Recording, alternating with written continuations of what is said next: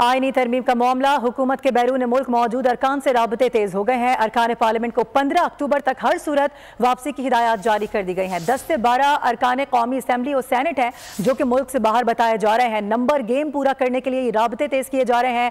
आईनी तरमीम का मामला है, हुकूमत की जानब से बैरून मुल्क मौजूद अरकान से पहले भी रबते हुए थे। पंद्रह अक्टूबर तक की उनको अब डेड लाइन दे दी गई है। सब्सक्राइब करें और बेल दबाएँ, ताकि कोई खबर रह न जाए।